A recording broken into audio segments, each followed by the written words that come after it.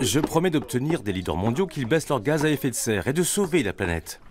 En attendant la COP26 à Glasgow, pour laquelle le Premier ministre Boris Johnson nourrit de grands espoirs, retour en arrière.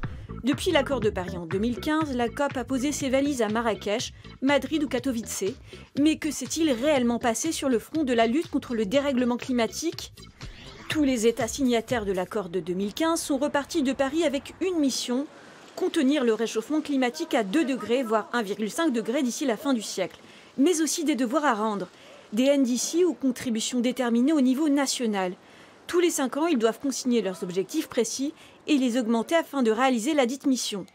Sur les 192 pays ayant ratifié l'accord, à ce jour, seuls 113 ont rendu leur copie, et la note n'est pas très bonne.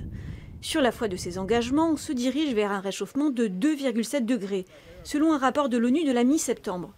Côté émissions de CO2, cela ne donnerait pas lieu à une baisse, mais à une hausse de 16% d'ici à 2030 par rapport à 2010.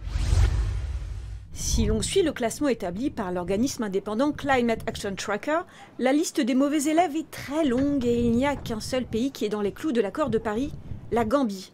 Juste derrière, avec un niveau presque suffisant, on trouve des pays comme le Maroc ou encore le Costa Rica.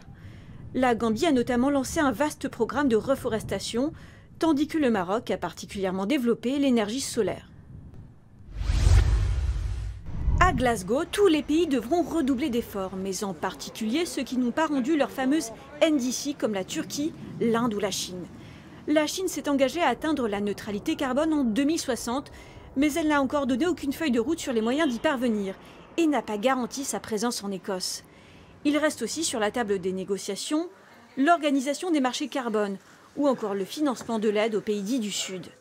Alors que les montants de ce financement devaient atteindre 100 milliards de dollars d'ici 2020, ils ont pour le moment culminé à 79,6 milliards selon les derniers chiffres de l'OCDE.